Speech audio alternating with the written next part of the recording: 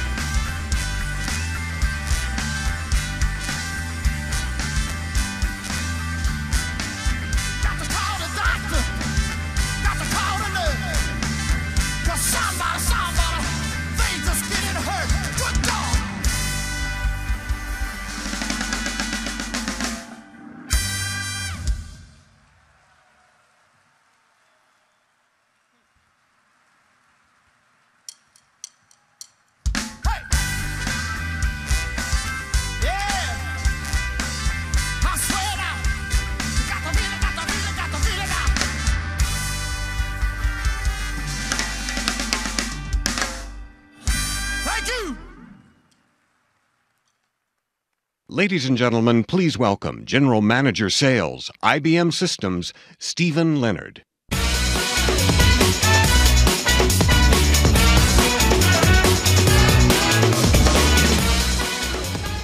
So, good afternoon, everybody, and welcome to Edge 2015. Let's join me in giving the band another round of applause, though they're an excellent way to get us kicked off.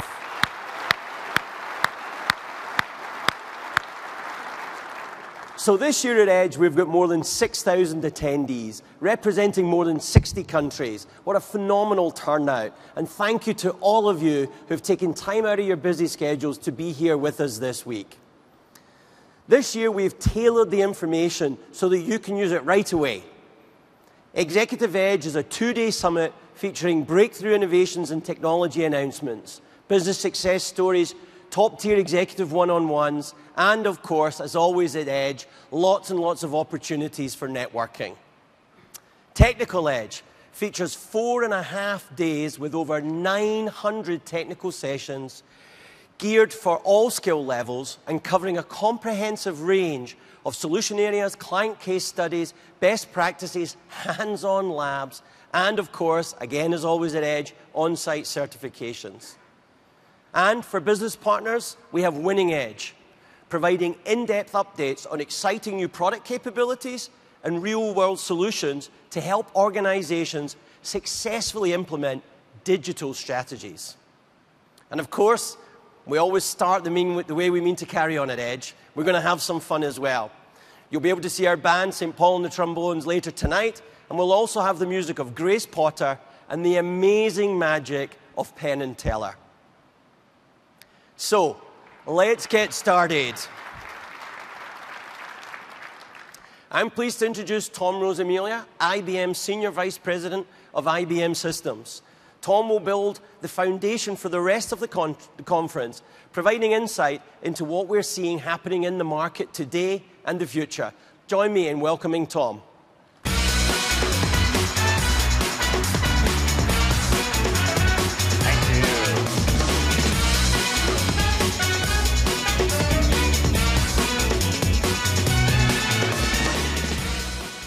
I'll translate what Stephen said into English so we can all understand it, right? Thank you. From how many countries? I'm very pleased to be with you all. Thank you to all of our clients for being here. Thank you to our business partners, to our sponsors, uh, to the analyst community that's with us here today as well. I'm very pleased to be opening Edge and talk about the digital transformation. Now, we talked about infrastructure, and now I'm going to switch gears completely and talk about mobile and what's going on in the world and how that matters to every one of us every day from what we see. Digital is changing everything, mobile is changing everything. And these unprecedented disruptions that are happening in the industry, they're happening to me, they're happening to you, they're happening with us, they're happening to us, and they're happening because of us. The revolution that's going on in the world is driven by people people embracing technology at unprecedented speed. We've never seen all of these things happening at the same time.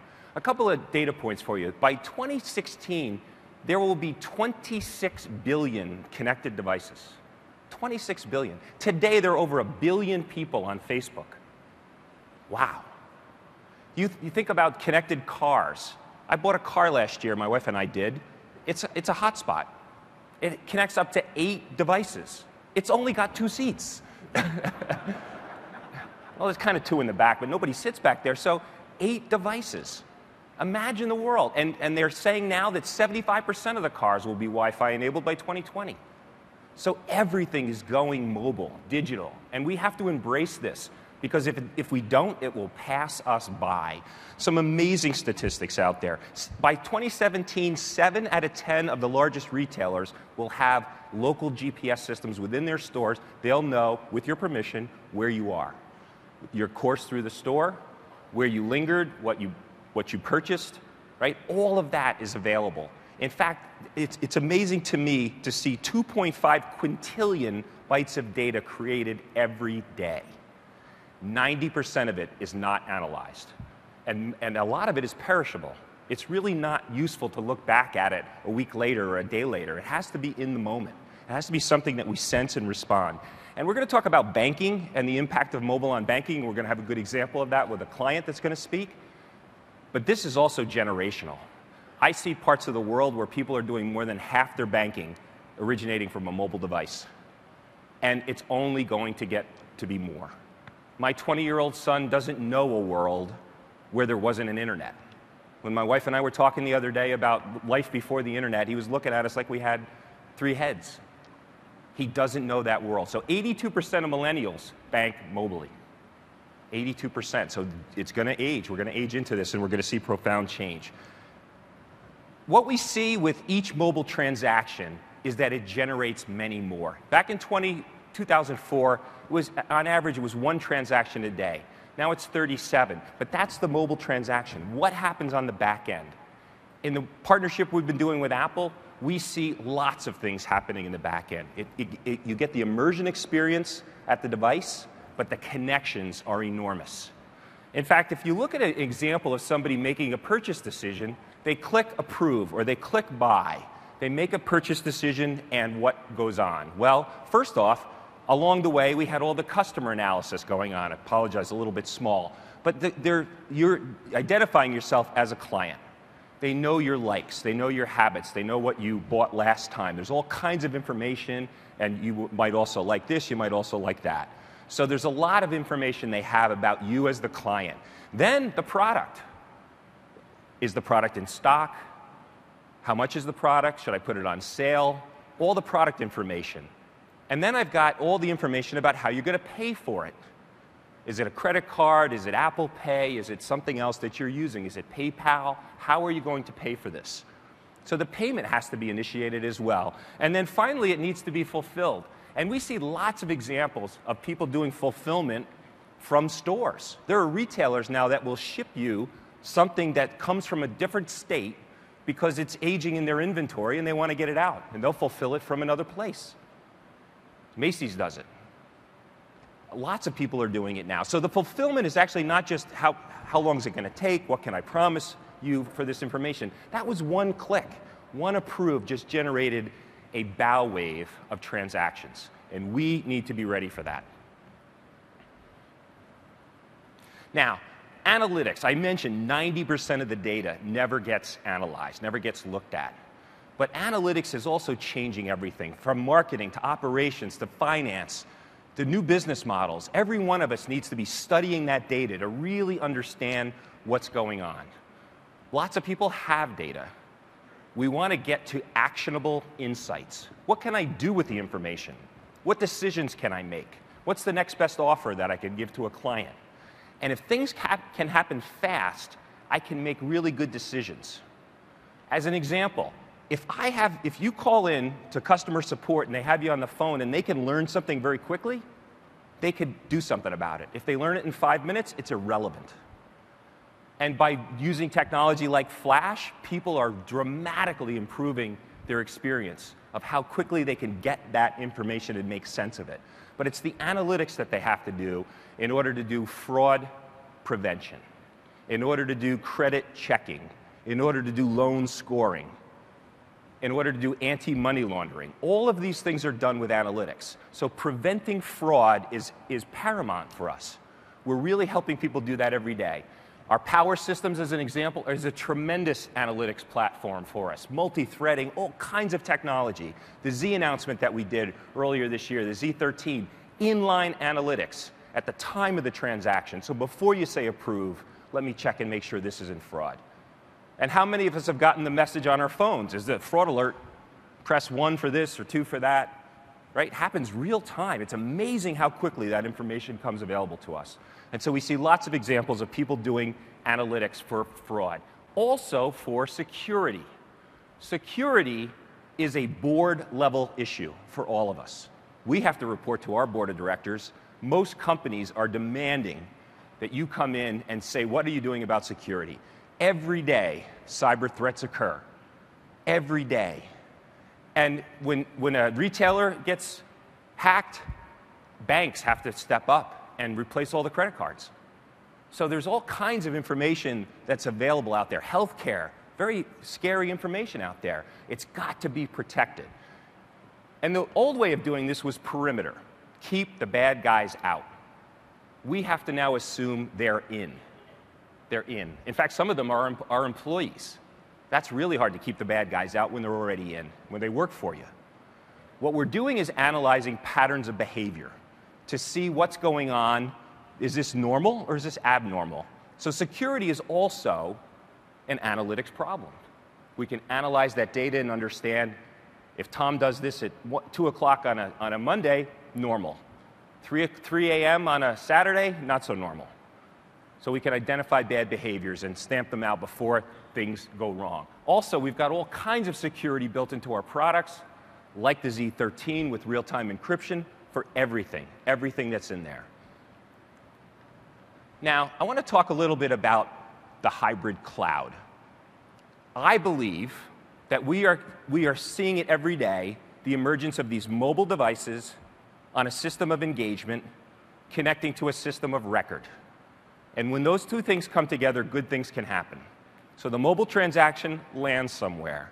In flight rebooking, reservation systems need to be updated all kinds of things happen, and what you see is on your iPad or your, or your Android phone or your, or your, or your iPhone. That's where you're experiencing it, but there's an awful lot going be, uh, on behind the curtain. And so that's where the integration has to come together. It's not just about a mobile experience, it's also about the workflow that that kicks off.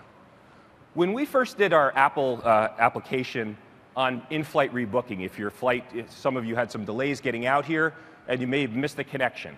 Wouldn't it be great if, they, if the flight attendant with his or her iPad could say, oh, let me get you rebooked. You're now going to make your connection. We're going to push this message to your phone when you land. Then you don't have to be panicking, worrying about it. When we first did that application, we had about 40 steps involved. We worked with Apple. They said, no, three steps. We got it down to three steps. Now, the 40 things are still going on. It's the workflow, a part of our workflow engine in our middleware, in our WebSphere middleware. It's the rules that are there, part of our ODM product. It's, it's all of the connections that are being made between the system of engagement for mobile and the system of record, where things have to happen once and only once. I need rollback, play forward, I need HA, and I need DR. I need all of those things on a system of record. And then the systems of insights, feeding the data real time so that people can make good decisions.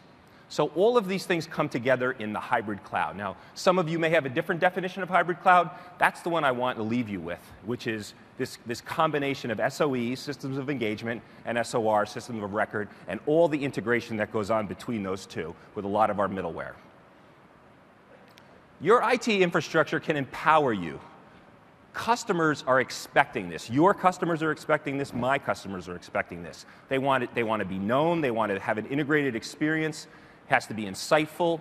Our systems have to be open, they have to be scalable, trusted systems out there. So it's in all of our interest, and thank you for investing your time to be here this week to learn more about how infrastructure really matters as we enable all of these great technologies and landing on our systems.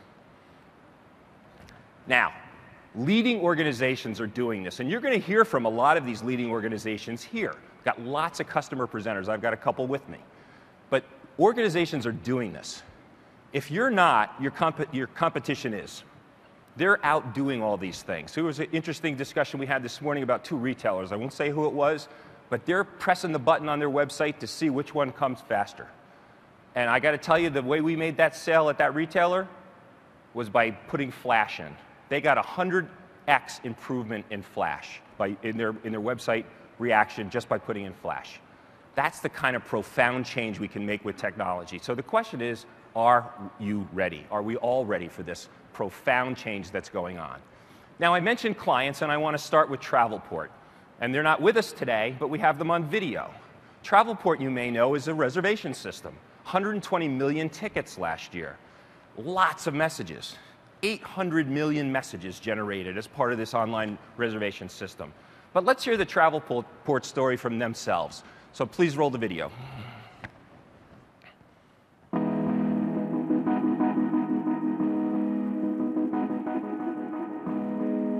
We are the, the, technology and content provider behind some of the biggest names in the travel industries. The way that travel products have been evolving is pretty dynamic, and that has been also stimulated by the way that people use technology in order to procure the travel products they want to buy, increasingly mobile and also social applications, as well as traditional browser and desktop applications. Our innovation is fed by the data and content that we get from our partners like Travelport. As a digital company, you have to move a lot faster. You have to be open to more change. You have to be ready for evolutions in the marketplace. We're seeing more and more transactions coming from mobile devices. The level of activity on our servers these days is tenfold what it was when we first started. We are moving information from the four corners of the internet and getting it back to the consumer as quickly as possible. Travelport processed transactions in the order of 900 billion system messages last year in order to generate 120 million airline tickets, 60 million hotel room night reservations, and 76 million car rental days. We're a global company. We operate in 170 countries. There's not a minute in the day that somebody is not searching for and booking travel. So it's imperative that we're able to service our customers at all hours of the day. A couple of weeks ago, I had to book some travel for our son to play in a lacrosse tournament. My wife and I had talked about it, we hadn't done it.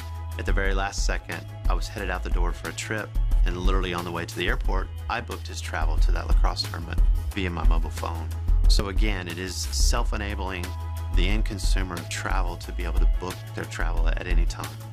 We haven't found anything that can do that with the same level of reliability, security, and speed than the mainframe. One of the strengths for the mainframe in our infrastructure is its ability to process a high volume of transactions with a sub-second response time. Just because we're doing so many more transactions than we used to doesn't mean we're allowed to take any longer.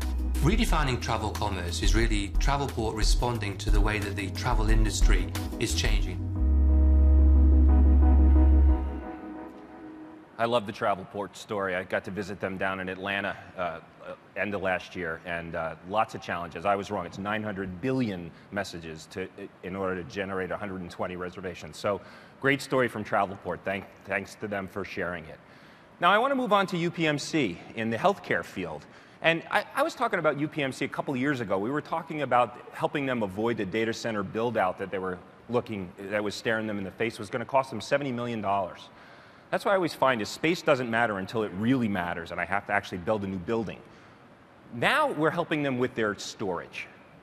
They, they predict by the end of 2016, they will have as much data that would be in Bibles stacked from the Earth to the moon. That's a lot of Bibles. That's their data 21 petabytes of data. We're helping them. They are using a lot of our storage products.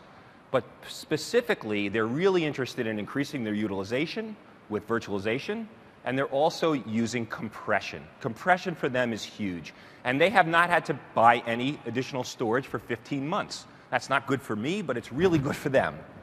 They avoided this, this storage purchase by being able to compress their data. And as they stare at what's coming at them with electronic medical records, it's only going to get harder. So we're helping UPMC really uh, uh, cut their costs on storage. Etisalat, for those of you who know, is an Egyptian mobile provider. I thought this was fantastic because they improved their speed of fraud detection by 37x, again, with the use of Flash. So your mileage may vary. Sometimes it's 30x, sometimes it's 50x, sometimes it's 140x, but it's x, not percent. That's a huge gain huge gain, and, and the fastest way to get that gain as well. They increased their CPU utilization, they improved their operation as well. So Etisalat is another good story. Now, I want to share with you the story of Banorte. And Jorge Sanchez, the Director of Transformation, don't, don't, you love that title? I want to be the Director of Transformation. That's a great title. He is in Mexico. He's not here. Why is he in Mexico? Let's get him on the screen. Can we pull him up? Jorge, how are you? Fine. How are you all? Good. Via technology, we're bringing Jorge from Mexico here. Now, the reason why he's in Mexico is because we, we like when things deliver early, but Jorge's wife had a baby a couple weeks early, and so he decided it was a good move to stay home.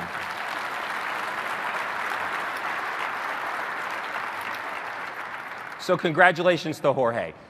I wanted to share Thank the story of Banorte, or have Jorge do it. They are a leading provider, financial services banking in Mexico. They were founded in 1899. They are older than IBM. That's amazing. So tell us a little bit more about, about Banorte and how you have been driving the team through this digital transformation, why that was needed, and what you were trying to achieve. Of course. Thank you very much for this for this great opportunity with us. Uh, well, Banorte is the third biggest bank in Mexico, and it's the only one with only Mexican investors. It's an important it's an important uh, fact that that you will have to know.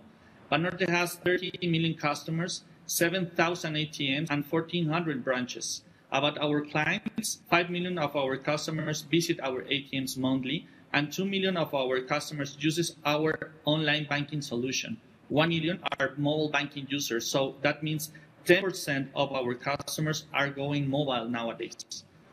As you said, we have in, in 2013 the most important transformation process that the, ha- that the bank ever had.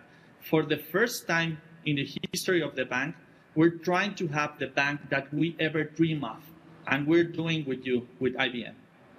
We know we can change our core from one day to another, but we do create a multi-channel architecture that allows us all the services, security, business rules, data about our customers to be all in the same place.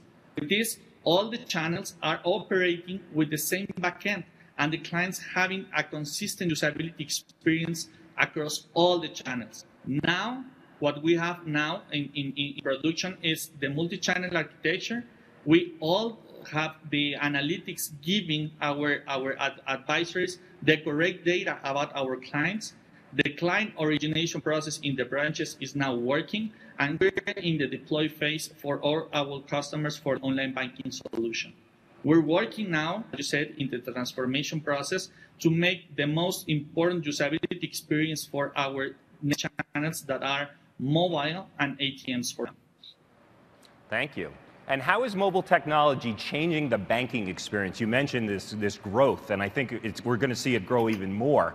What kind of changes is it having on the experience that your customers are, are uh, as they interact with Banorte? Well, the mobile channel is a very important piece in our in our strategy as a bank. For instance, we have four million customers that they receive their payroll with us. We have we, we don't know any of them. We, we don't know a name. We don't know an address because the enterprises and, and different business are not ruled that they have to know this kind of information about our uh, about this kind of uh, employees. They just give them uh, a debit card and they start to pay the role.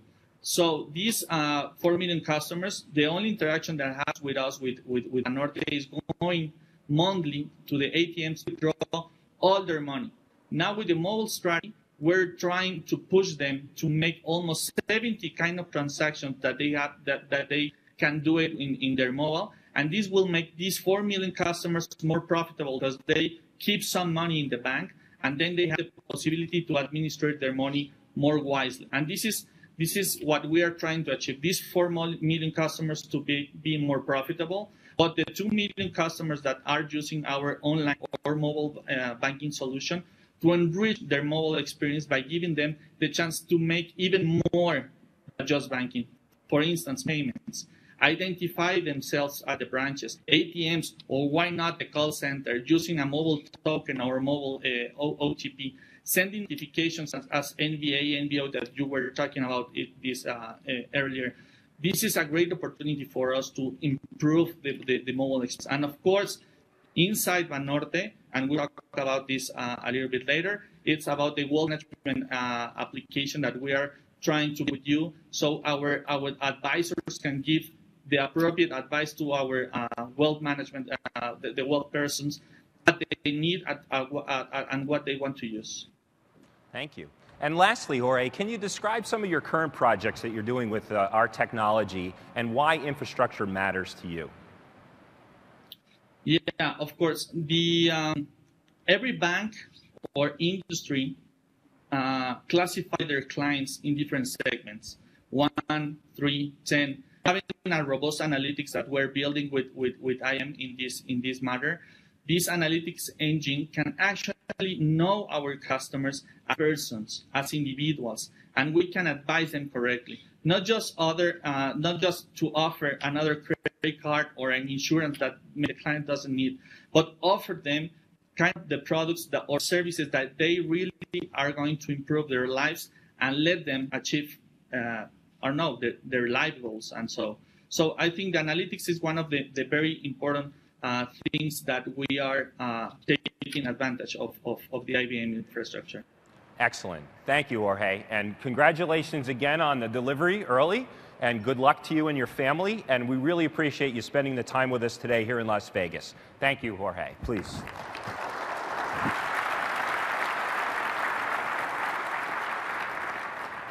Now, I, I, told you a couple stories. I showed you a video. I wanted to share the story from Banorte from Mexico via Skype. And now I have a client who's here from CenterPoint Energy. So I'm going to ask uh, Steve Pratt to join me on stage. He's the CTO of CenterPoint. Come on up. There he is.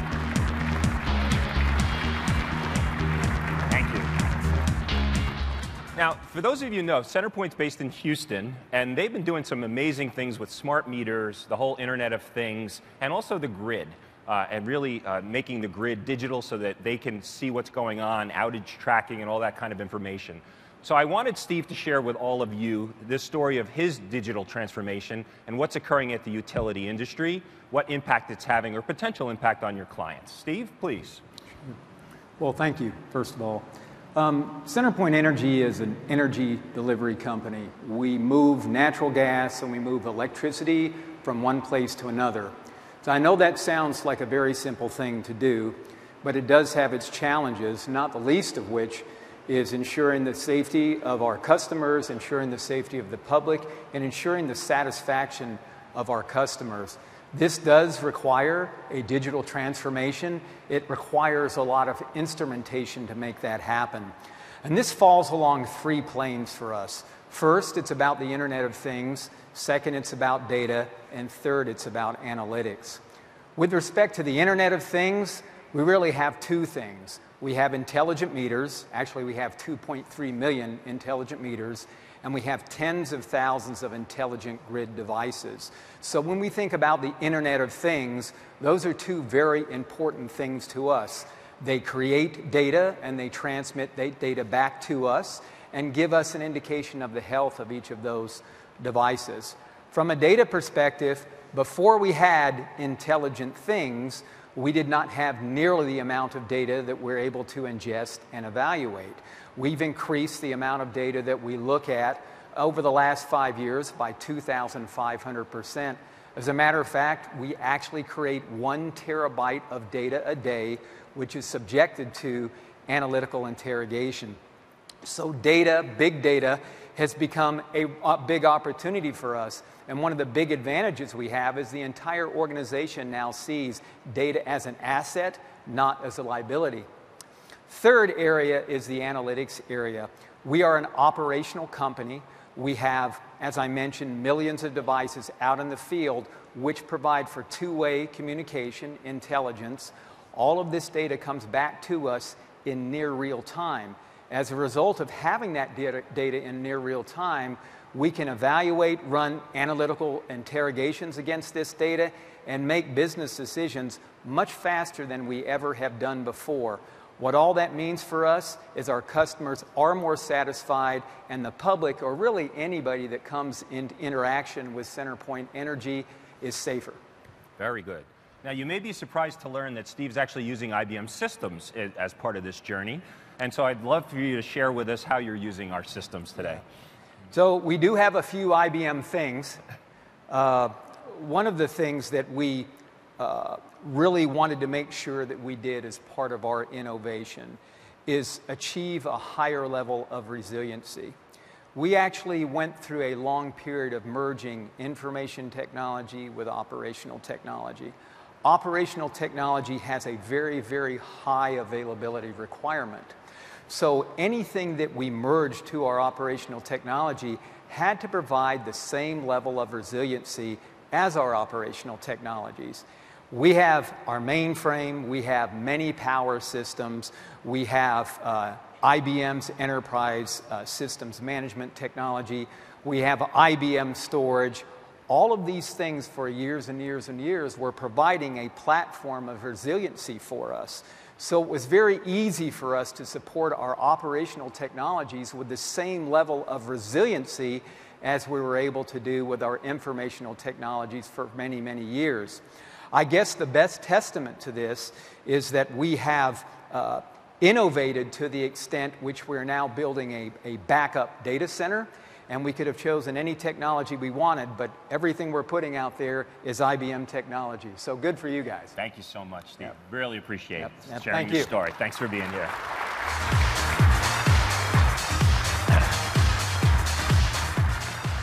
So it's good to know that CenterPoint does power, right? So that's, that's a good thing. The, and I, I really, actually, if you could just join me in thanking all of our speakers, our customer speakers here today, I'd appreciate that. So let's.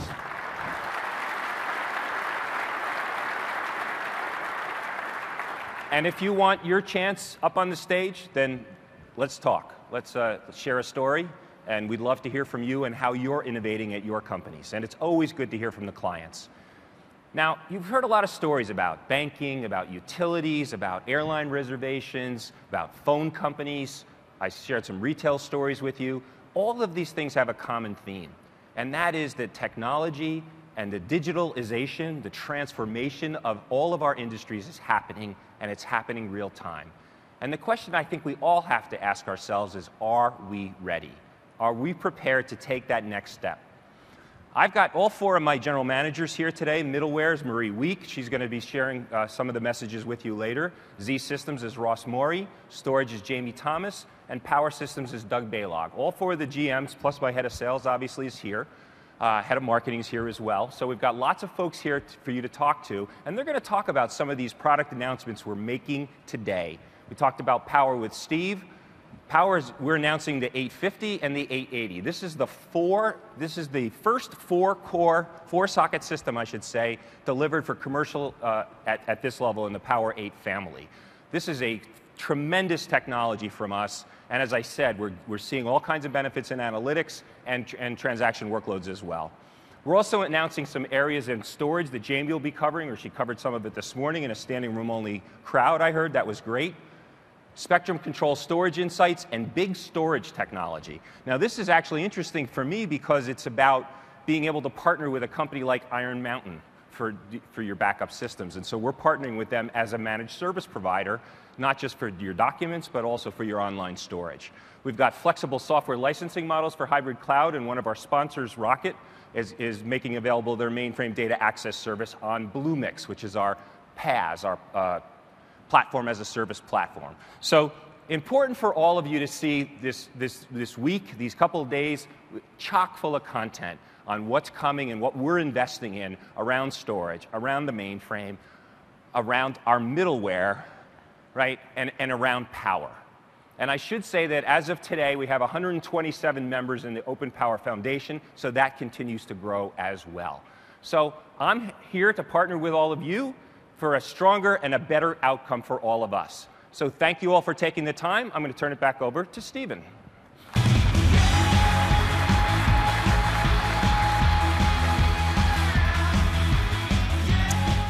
Well, uh, thank you, Tom, and it won't surprise anybody in the audience that uh, that's not the first time that Tom's made reference to my accent in the two and a half years we've been working together. so thank you. Now, Tom did. I was genuine. so Tom, I think, clearly explained what's happening around the digitization of all industries. In fact, many of the examples that Tom talked about, whether the airline industry, the banking industry, the, the energy utility industry, what they actually do in their business isn't changing. Taking an airline flight isn't changing. But how you take it and how you experience it is changing. How you experience a company is changing. And that challenge that we're facing is being faced not just within our companies, not just how do we help our customers um, experience differently our businesses um, from the digital transformation, but it also transcends to our employees and, of course, us as individuals, as citizens. Digital transformation affects all citizens, not just us, but all citizens of the world. And IBM has been a great corporate citizen of the world for over 100 years. And I'm pleased to introduce Jen Crozier, IBM Vice President of Global Citizenship Initiatives. And she's joining us here today to talk about IBM's competitive grant programs for cities. So please join me in welcoming Jen.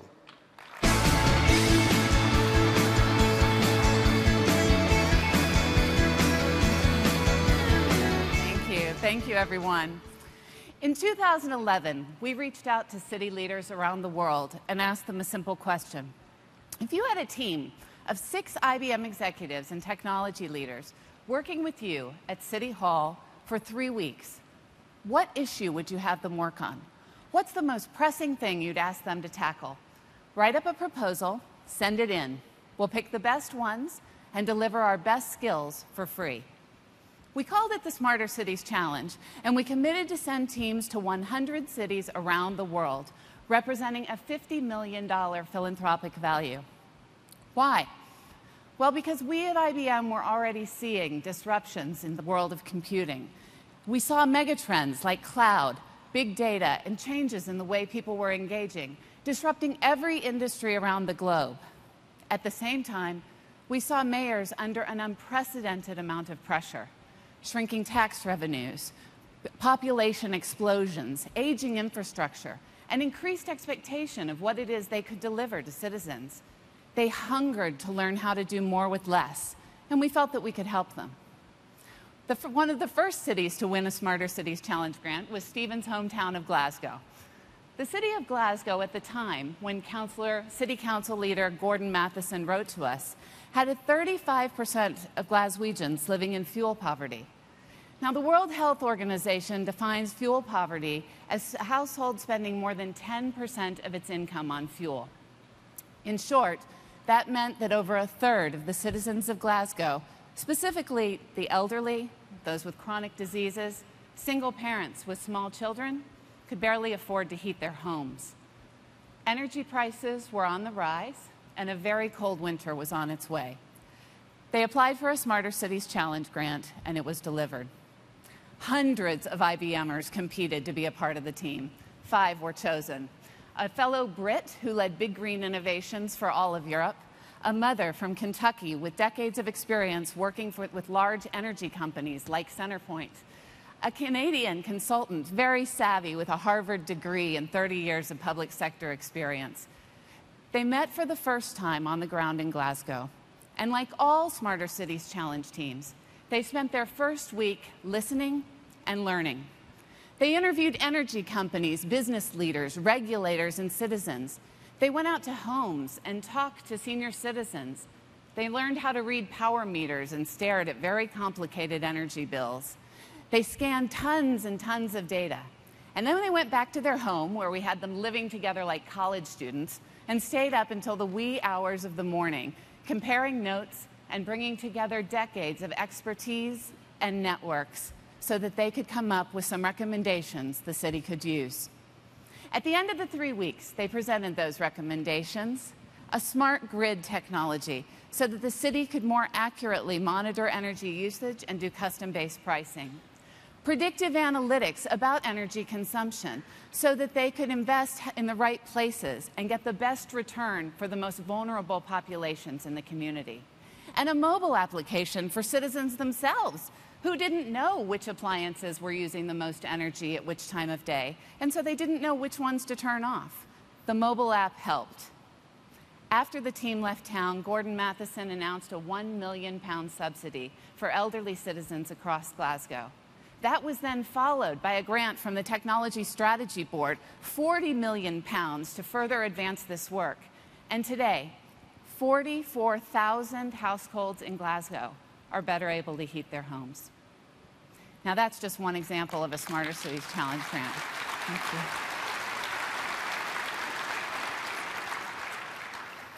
Over the last four years, we've had more than 600 mayors from around the world apply for this grant.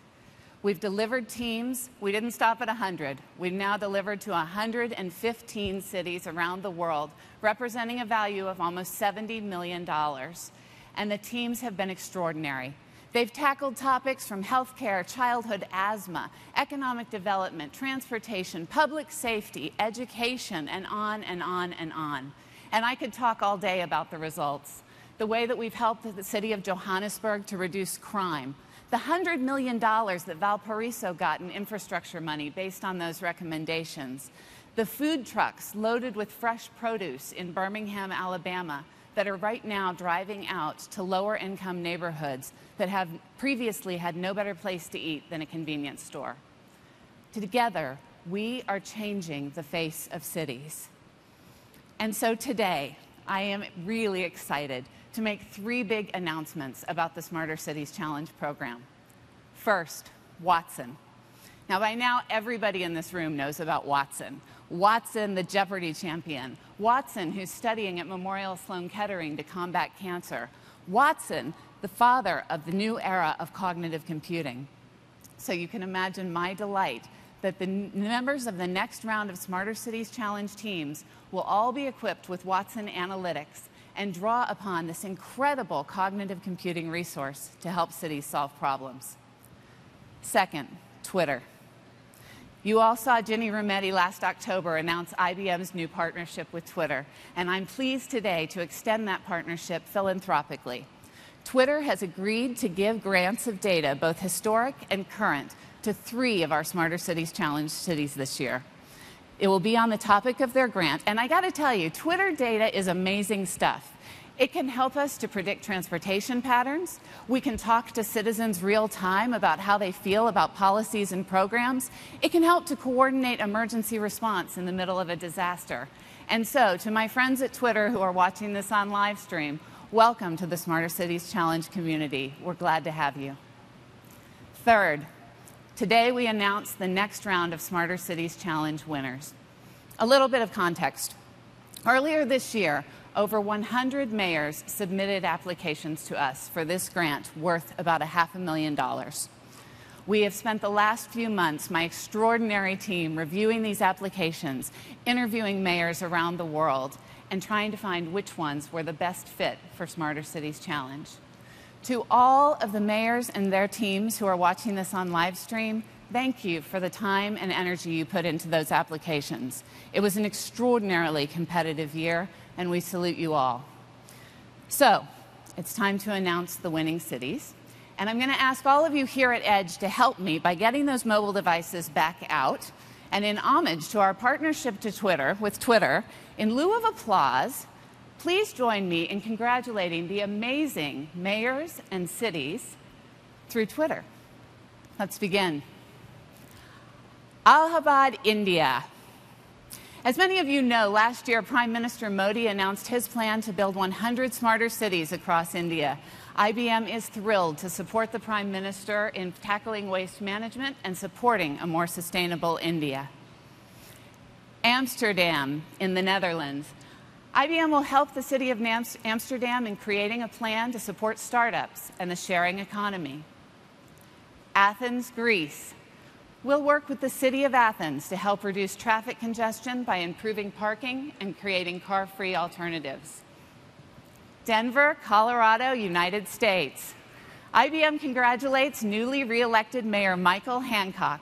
We look forward to working with you and your team to coordinate services for homeless populations. I understand we have a few people here from the great city of Detroit, Michigan, United States.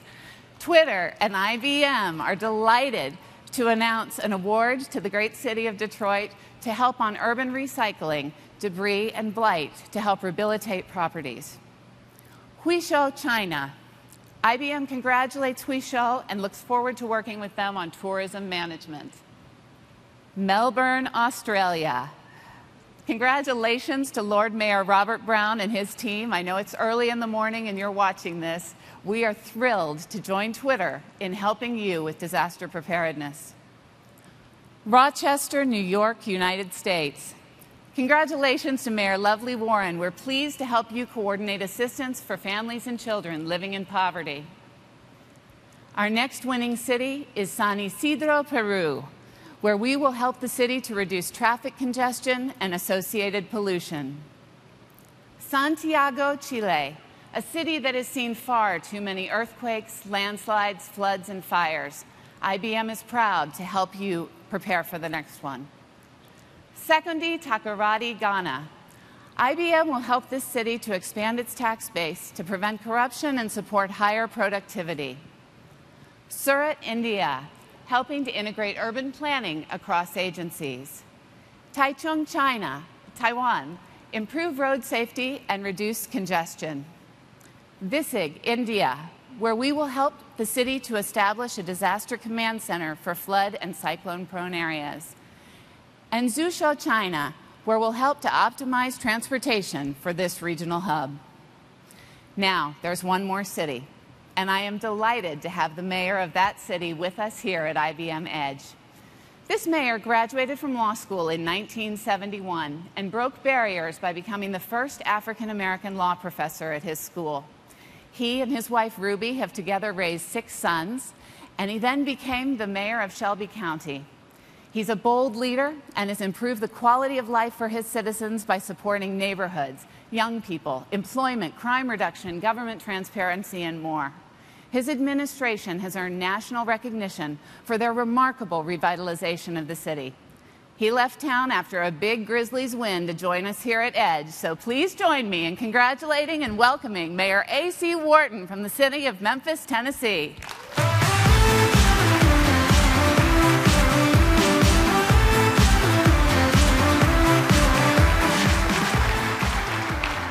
Thank you, Jen, and uh, thanks to the IBM uh, family for choosing Memphis for one of its uh, Smarter Cities uh, Challenge uh, grants. But before I go on, let me really thank the folks who are in the trenches, the men and women of the Memphis Fire Department, led today by Chiefs Andy Hart and Chief Gina Sweat. Give them a round of applause. They're the ones who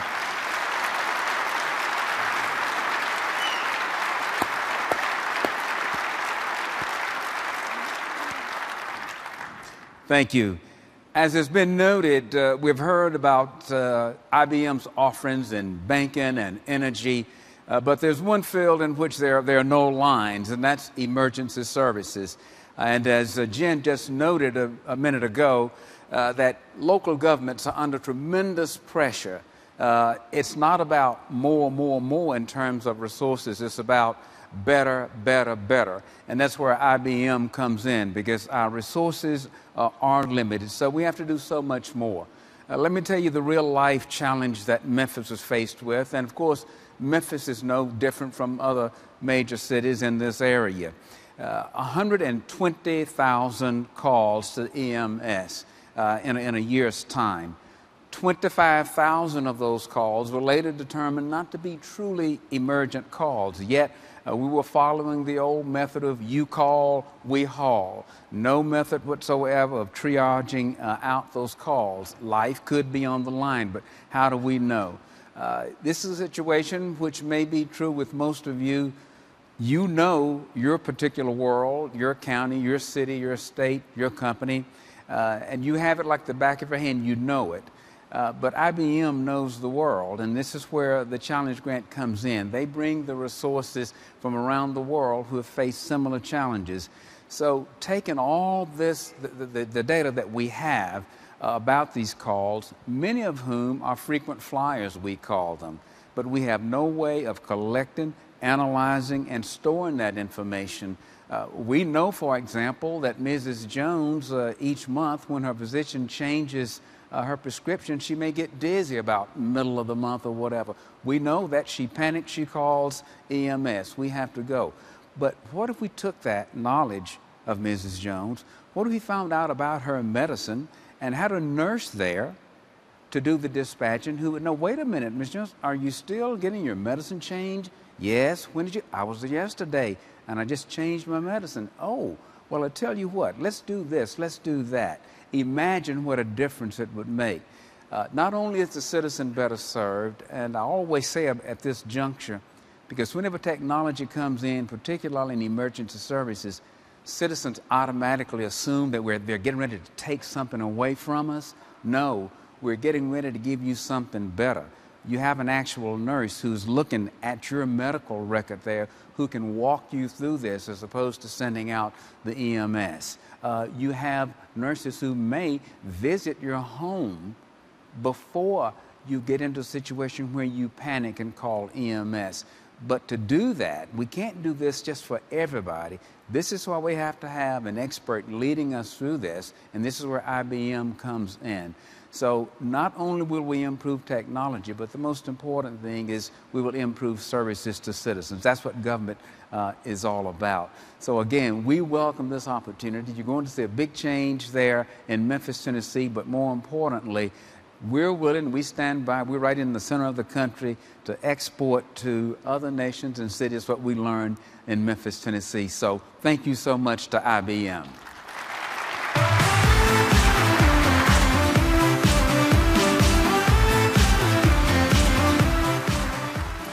So again, our congratulations to Mayor Wharton. Isn't he terrific? And all of the city leaders around the world. We're excited to build a smarter planet with you. Now, none of the accomplishments that we've just talked about would be possible without technology. And here to describe some of those technologies in more depth, IBM Vice President of Marketing, Deon Newman.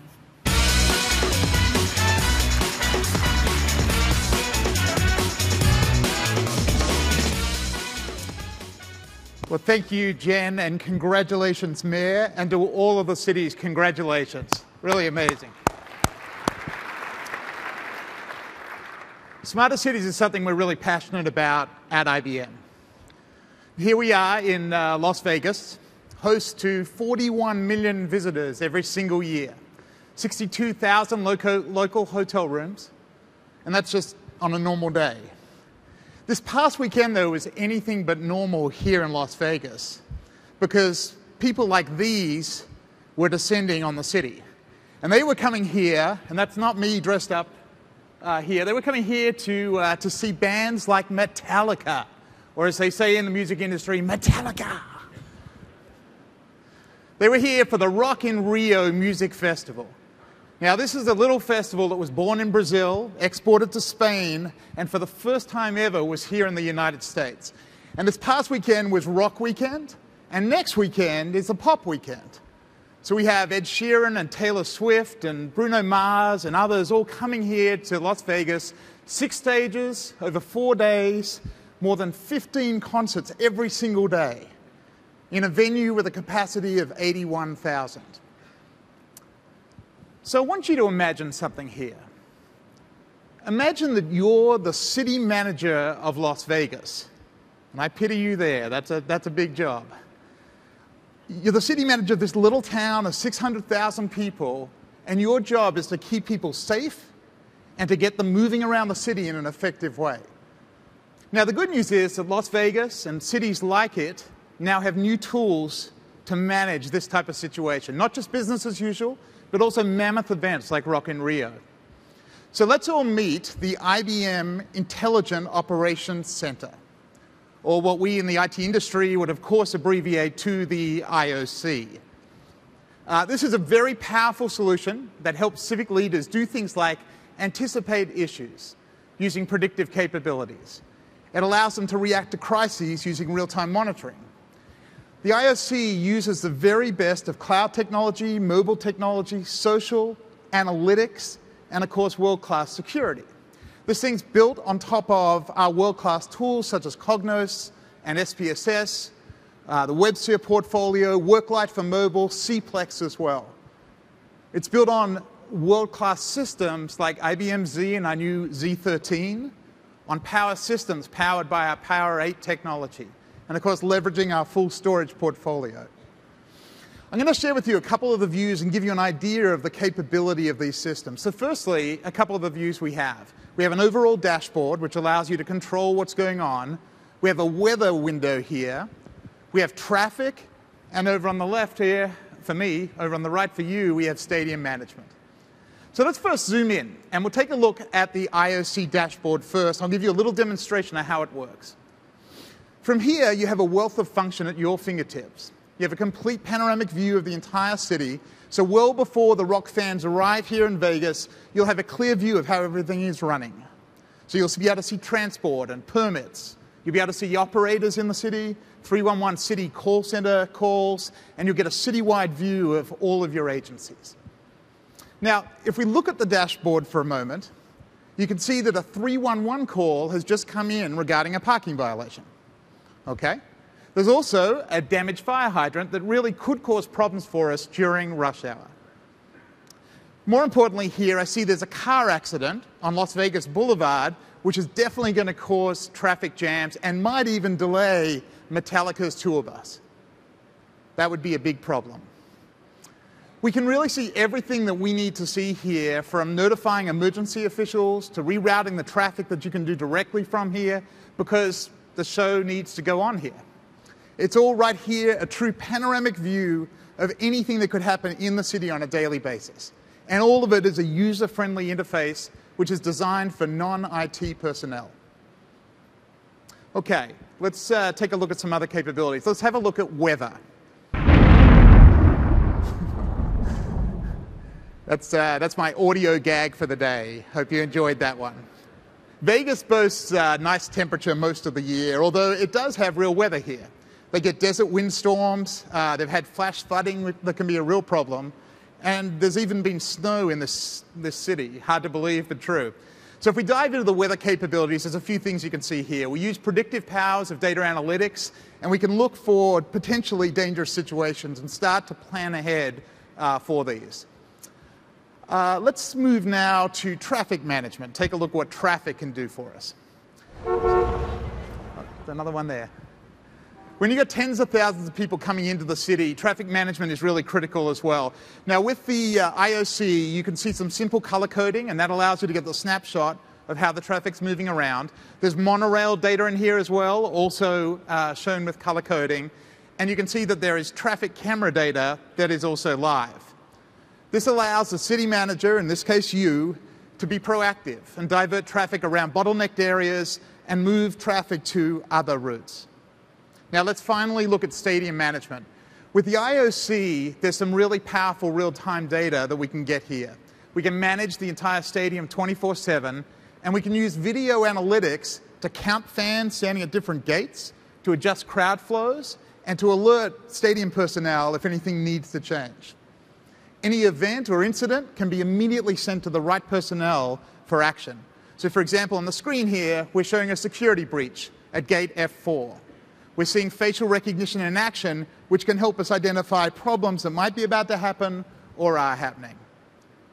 And if anything goes wrong, straight away you can go into your operating procedures, which are right at your fingertips, and you'll be able to alert the proper personnel. So there you go. That's a good little overview of what the IOC is capable of. The fans have come and gone. The city's returning to what they call here in Vegas normal. And uh, you've done your job, which is great. Now, most city managers do not have to deal with something the size of Rock in Rio. But every single city does need to keep the citizens safe, to keep operations running smoothly. And we have taken repeatable patterns and insights from our city clients and created solutions that can be put together at lower cost, very, very quickly, and with fast time to value. So as you can see, we make cities smarter, and we do it by connecting them in better ways. Now, I'm really pleased to have one of our clients here today, Vodafone. They're one of the largest telecommunication companies in the world, and they're connecting this IOC technology and other solutions from IBM with their advanced mobile technologies to bring together a connected city initiative in Spain.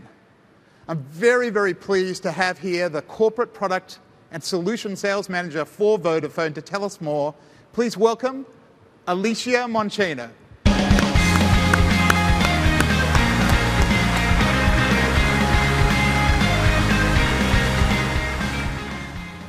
Thanks, Deon, for inviting me to show, to share with everybody what we are doing in Spain. Let me show you a picture first.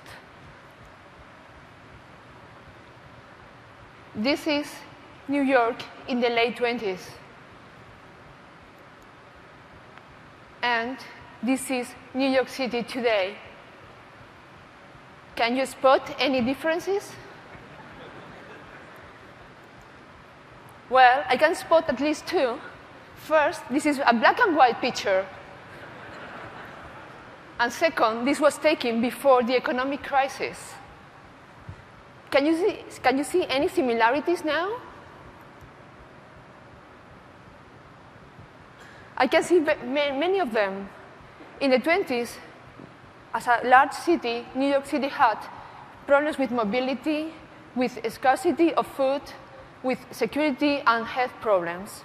And these are pretty much the same challenges we have today in our large cities. Ladies and gentlemen, good news are that our predecessors found ways of solving these challenges, and we will solve them too in very short time. Today, in, there are more than 1,000 cities that are more than half a million inhabitants. Would all these local leaders be able to solve these issues in an independent, creative, and resource-consuming manner? This thought fostered the conception of Vodafone Connected City.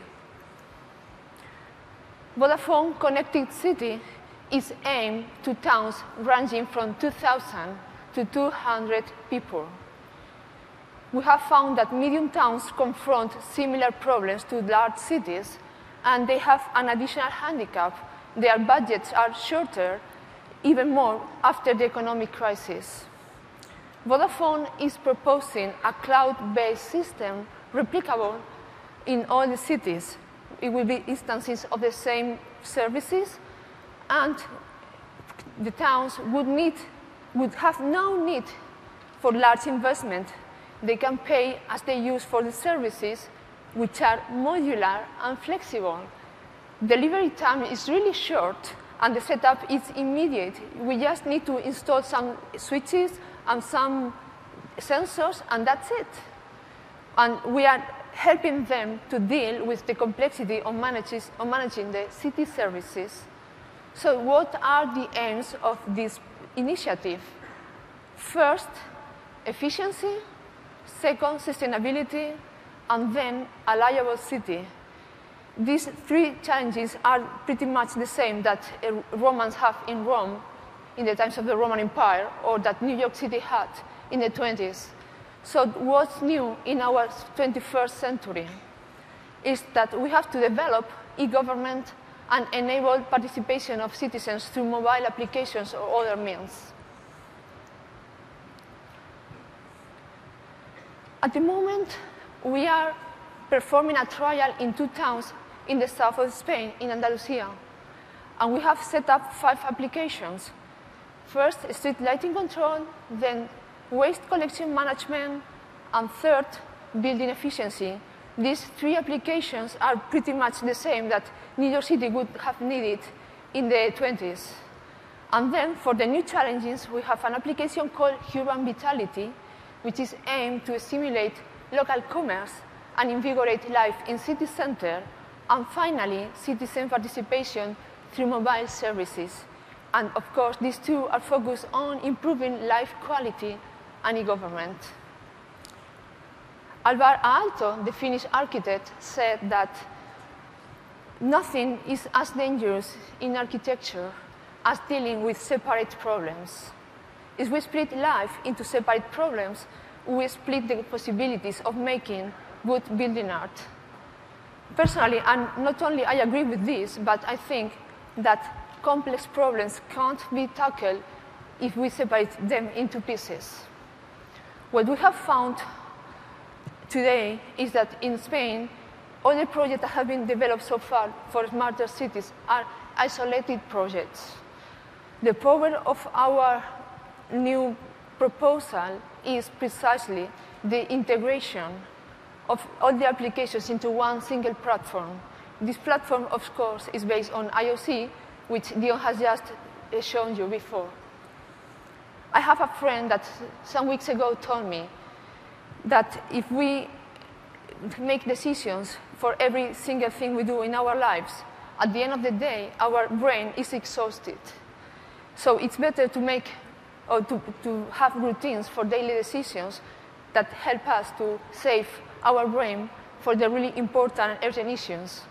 And this is the same thing for organizations. If we have preloaded decisions and, and preloaded groups of data that has been analyzed, we can save our scarce resources for better and urgent issues.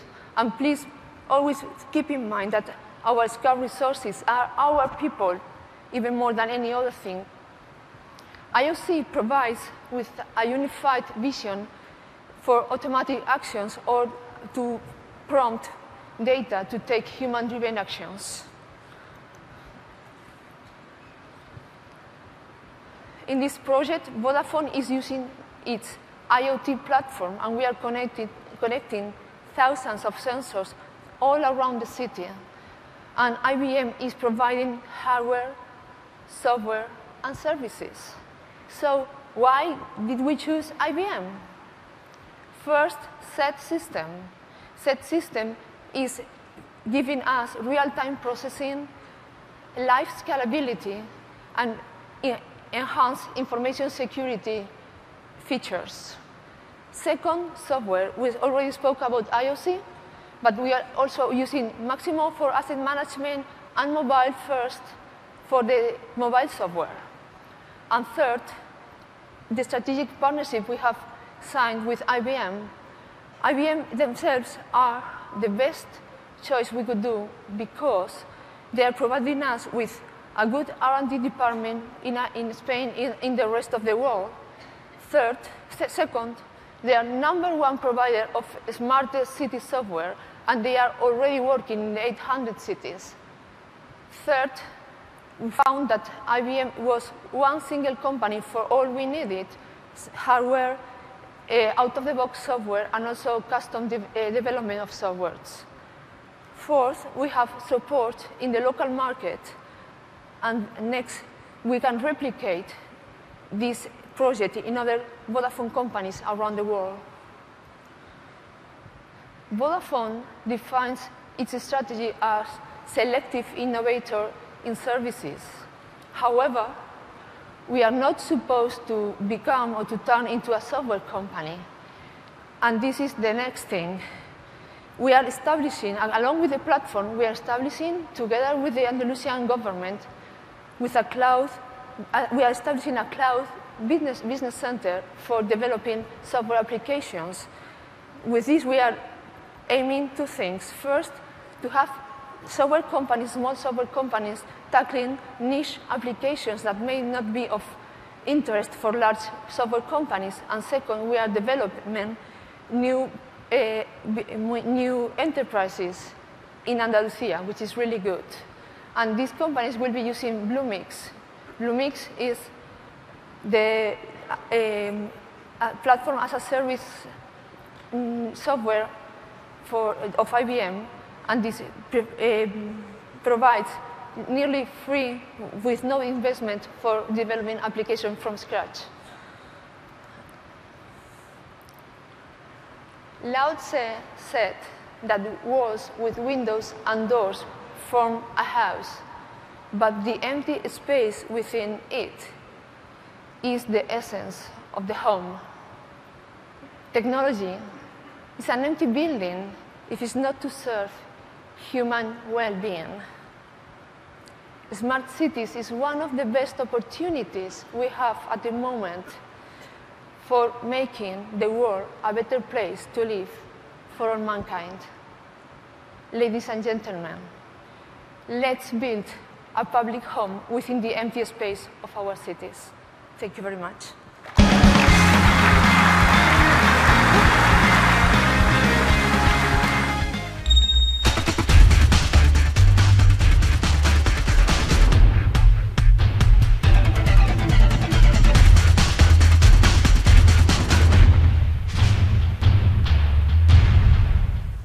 Okay, well, first of all, thank you to Alicia. That's a great presentation. I really like that quote uh, the information technology is an empty building.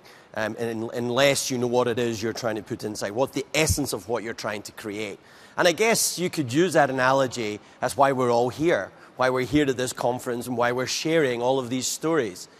Really, in order to help us find ways of creating the essence and not creating empty buildings. So, are you, provi- are you ready to transform your IT infrastructure to provide a differentiated customer experience? That's a great question that we should be asking ourselves. I know that from our point of view, we believe that IBM can help you get started on your digital journey or help you advance that digital journey that you're already on.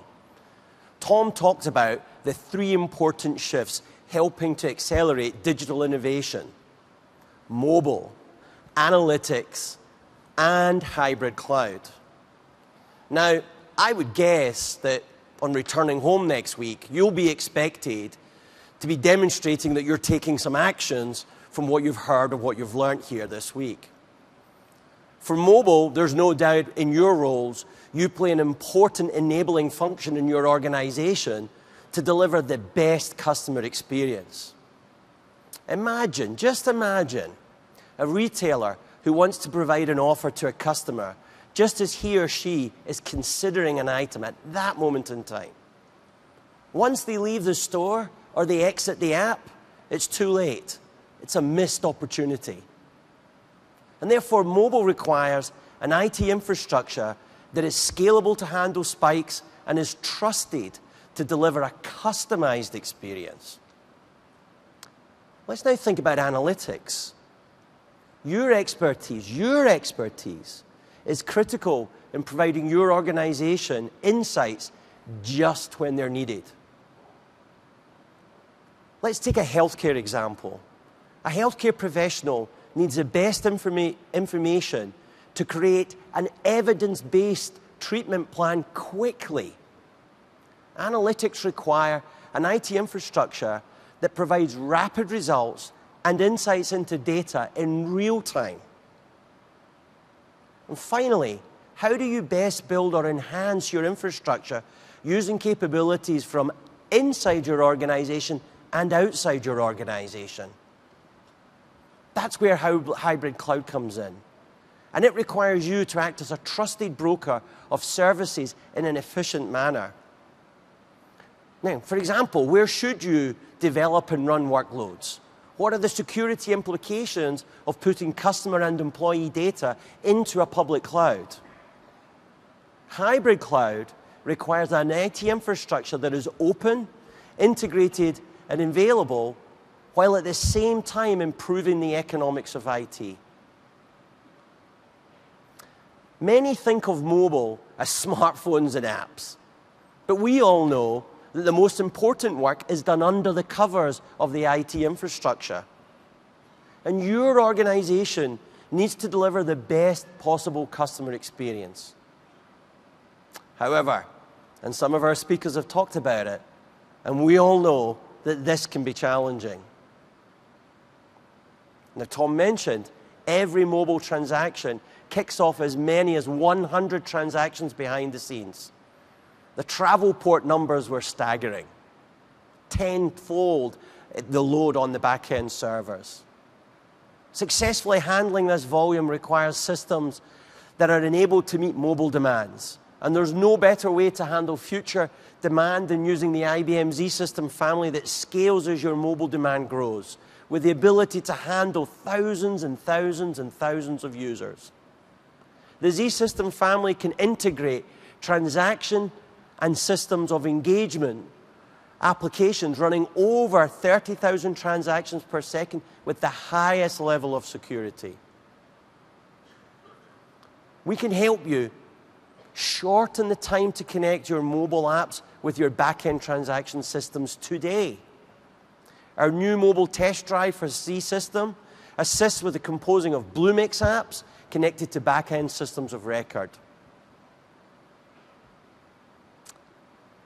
Let's turn to business leaders asking you to support real time decisions from real time data.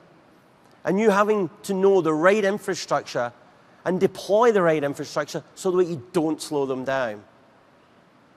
Making sense of mountains and mountains of data requires very powerful servers and storage devices designed specifically for analytics workloads a combination of extremely fast processors, a lot of memory, and high bandwidth, and scalability is what it takes. The new Power System E850 four-socket mid-range system integrates these capabilities, resulting in powerful, cost-efficient solutions for memory-intensive applications and in-memory databases. And it's just as important to feed that processing system with data as it's needed. We purposely designed the IBM FlashSystem family with the capability to ingest data at the speed required to deliver analytics results when you need them most. New cloud enabled business models require a truly integrated and scalable enterprise with infrastructure spanning multiple clouds, data centers, and environments. Use of clouds is shifting beyond the early days of handling peak overflows and dev test applications. Your organization is likely looking at ways to connect on premise IT with public clouds to handle mobile and other new applications. An important element of success with hybrid cloud is the use of open standards to run your applications. All of IBM systems are enabled with the latest versions of Linux, and IBM supports a range of software offerings built on open technologies Apache, Eclipse, OpenStack, Cloud Foundry, Hadoop, Spark, and many more. This provides you with the best range of flexibility and choice now and in the future. No one else supports a variety of open standards that IBM does. Now, let's hear from an organization that has successfully faced many of these challenges and is using their IT infrastructure to help them maintain a competitive advantage. Please join me in welcoming Brad Elmenhurst, IT Director of Engineering Systems at the Boeing Company. Brad.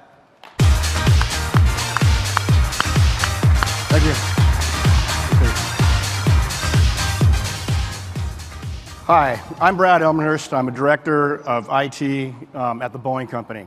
My responsibilities include leading engineering systems and Boeing South Carolina um, site IT leader. Some of you might know that Bill Boeing, William Boeing, created Boeing, founded Boeing in July 1916. Bill's vision was to take people from one place to another via a plane. And I assume most of you guys got here that way, fulfilling his vision. Over the time, we've had many, many leaders that have taken strategy to action in the Boeing company. We've created many products. Matter of fact, you'll see a lot of them back here, and I'd probably pay more attention to that than me. Um, but with that, we've created from a B 52 bombers to the 747, which was an engineering marvel, to the 777, to the latest 787 composite airplane, to satellites, to Apache and Chinook helicopters, missiles, and even like F 18s, the Blue Angels. Joining Boeing, our current C- chairman and CEO, Mr. Jim McNerney, came to carry on that 100 year vision to life and implementing and driving a specific strategy so that he could set the foundation not just for the first 100 years, but the foundation for the next 100 years. The strategy supports many different products and many different things. For example, rate. Some of you might know that for the 737, we put out 40 737s a month. Also, we're expanding our platform for the military side of the house. That in promoting productivity, innovation, and a motivated workforce to have that happen. Every company, every company has to have a business and technology strategy and make that operational. IT is a nervous system in many companies. It is in Boeing. It's so critical that it's operating and it's efficient. I started the Boeing company 30 years ago.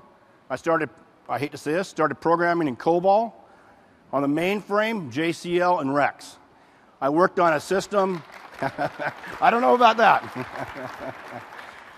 I worked on a system that was a master, master scheduling system for the Boeing company. It's what scheduled the airplanes to be built.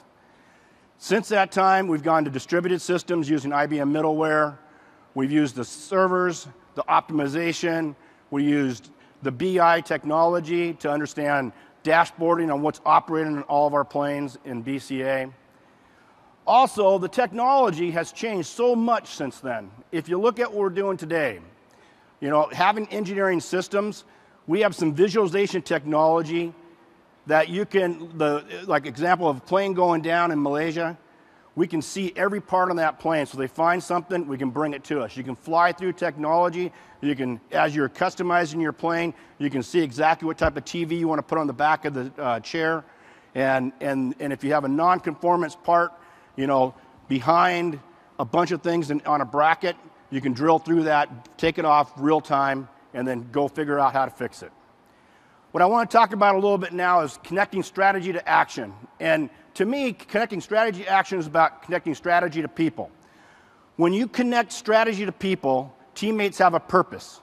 They understand what they need to do to help bring that technology into place so that your company can provide better business value.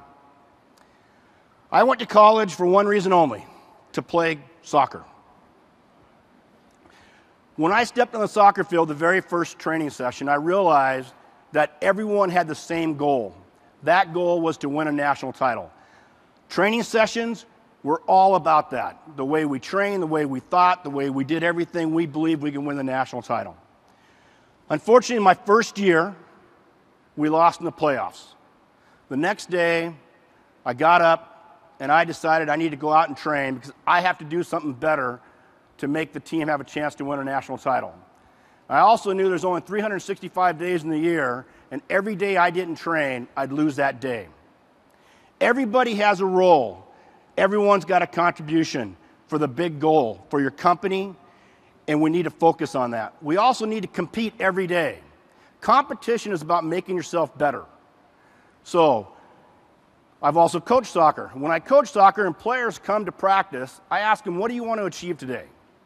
And if they say, Well, I don't really know, then all they're doing is they're getting dropped off of practice and getting picked back up. Same thing at work. When I talk to the Boeing employees, I ask them, What do you want to accomplish today? What's your goal for today? Are you going to improve a process? Are you going to you know, network and, and learn more things? Um, are you going to, you know, make someone feel better, feel valued? And by doing that, having that goal helps everyone stay connected to the business and they understand where they fit. So people feel valid, they have a purpose and connected business. It's also very important that you tie strategy, people, and competition. Uh, that allows people to focus and connect to the strategy, which in turn drives results. And at Boeing, we are very proud every single day to commit and to deliver the most advanced, sophisticated, safest, efficient products in the world. I'd ask of all of you, every day you're at this forum, you're learning about all this great technology. When you go back to work, set the goals for the people, set your goals for yourself. Bring it all together so when you get back to the office, you can figure out how to make your company more successful. Because at Boeing, we are proud. We've entered 100 years, and we're looking forward to the next 100 years. Also, with that, going back to college, all that hard work did pay off. We ended up winning the national title. So, thank you very much.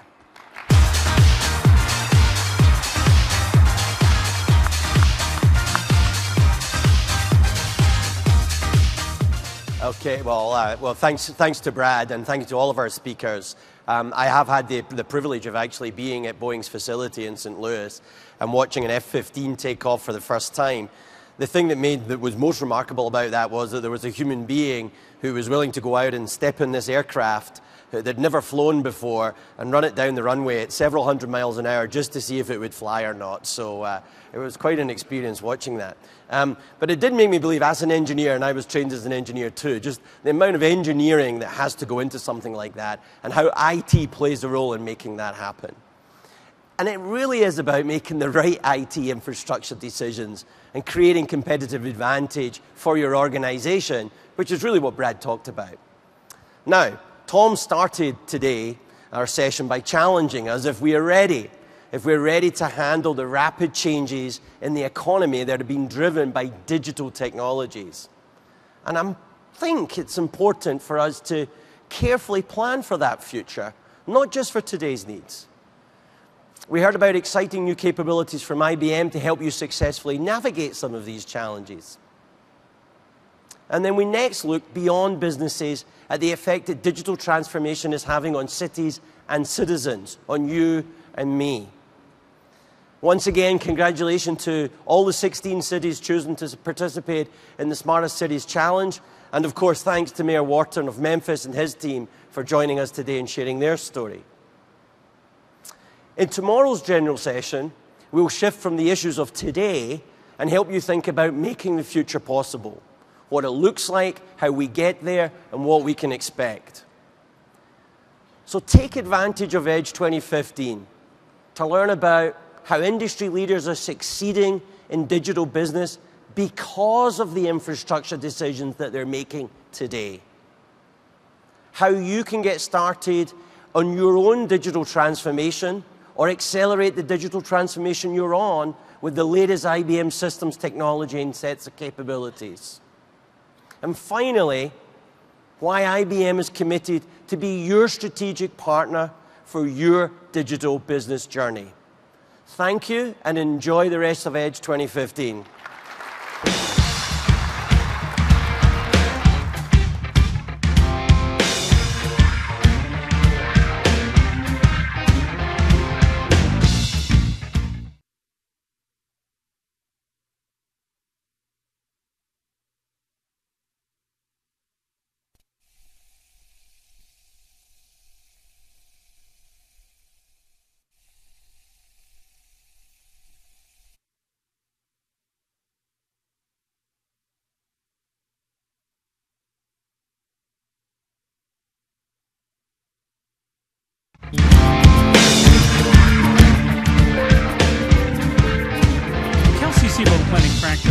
Medicine primarily in the Houston area. Our tagline is Your Doctors for Life. So we knew throughout the project when we looked at the scope uh, for virtual desktops there was going to be a need for storage. Today we have a uh, total amount of storage that equals about 4 petabytes uh, in raw capacity. Today virtual desktops are used in a, in a multitude of business units. Uh, today we have the contact center, we have nurses stations, we have uh, reception areas, we have some people in IT that are using virtual desktops. When it comes to the things that are critical to KLCC Planning Practices Medicine primarily in the Houston area. When we looked at the Our Flash 840, we knew that we needed to make some changes, we we knew needed to do some upgrades for some of the looked at the storage that scope, was out there. virtual desktops, there Flash is gonna going be a need for very storage. good, resilient have a, uh, solution for amount virtual desktops uh, because of about the four IO petabytes, requirements. in Most of them can be serviced concurrently. Today, virtual desktops are used in a- reliable, in a it's very multitude of business units. The IBM FlashSystem have has provided contact center. um, We a great amount of performance for us. have, That's in a recep- perspective that's balanced. And it's not just you know the vendors talking to them. It's the community. It's analysts. It's technologists. It's customers, practitioners. So they get a full perspective that's unfiltered.